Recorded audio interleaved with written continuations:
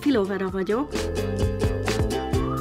finearthotel.hu kiállításon fogok tárlatvezetést tartani 801 galériában 8 óra 01 perckor. Próbálunk ezekkel a képekkel megismerkedni, az üzenetüket amennyire lehet felfogni, megérezni, átérezni, a párbeszédükbe beszállni, a történetüknek részese lenni.